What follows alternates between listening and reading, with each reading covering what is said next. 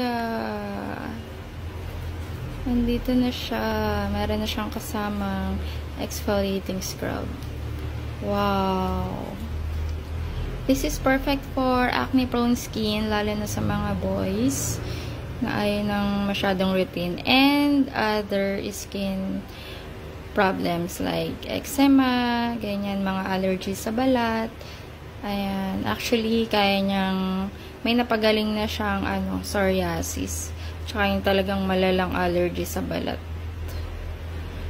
Try this.